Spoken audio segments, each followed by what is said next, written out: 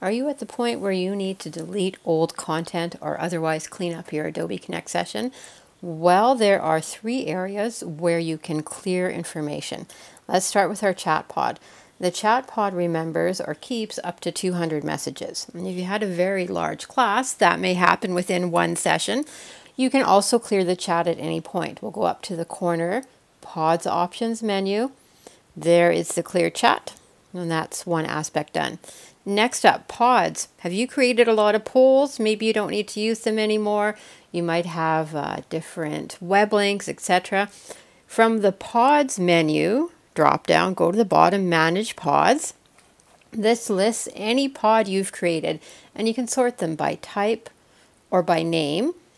If you're not sure what you have created but never used, there is a helpful select unused, and that will demonstrate what you have not used. That might help to clear out as well.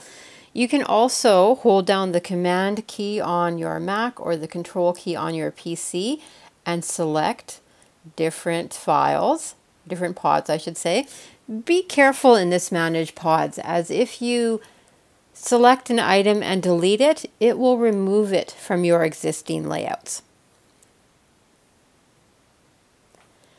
And finally, a third way that you might want to clear information is if you have updated PowerPoints, especially.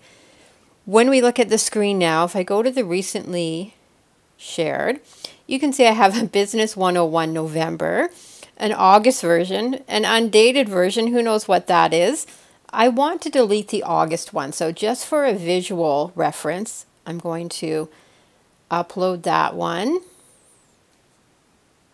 There it is. And behind here, I also have an empty share pod. I'm going to go a different route this time just to use all the different options. And there's my November one. The November version is my current one.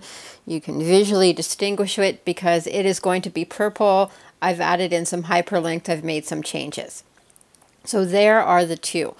I want to delete August. Thankfully, I have dated my content, so it's not quite as confusing. But if you have several versions of uh, PowerPoint, for instance, it is possible to open the wrong one when you're live in front of your class. So let's stop this November one and I'll make it a little bit bigger so it's easier to see. I'm going to keep that August version in the background just so we can have that as a reference. I'm going to be looking for Business 101 August and I'll use this empty share pod to demonstrate. If you're on the same layout as the PowerPoint that is open, when you go to share document and share history, it's a little bit of a buffer in that we don't see Business 101 August. That helps you to not accidentally delete something that you're currently using. However, cancel out of this. If I were on another layout, let's go to this rather blank layout, and I went to the same area, share document, share history, aha, there is my Business 101 August. So it is helpful if you stay on the same layout. You're maybe less likely to accidentally delete something. While we're here, let's delete the August version of Business 101. I'll click it, click clear, and it's done. Cancel out of there. And now let's venture back to the layout where we had it opened. And you can see it used to be this big share pod at the end. It is no longer there. And if we look at the recently shared, it is also no longer there. Only November is there. So that is how you can clear items that are maybe an older version. Go to Share Document, Share History, select and delete the specific item. One last area that I would recommend not going to or very carefully using in specific instances is the Layouts menu and Reset Layouts. When you reset your layouts, it keeps the content in your share history, but it does reset all the layouts to the very basics. Those first three that you start with sharing, discussion, and collaboration.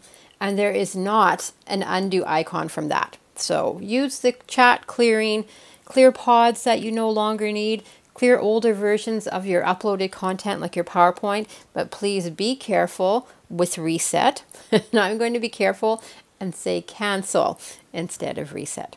So there are some ideas on how you can clean up your Adobe Connect session.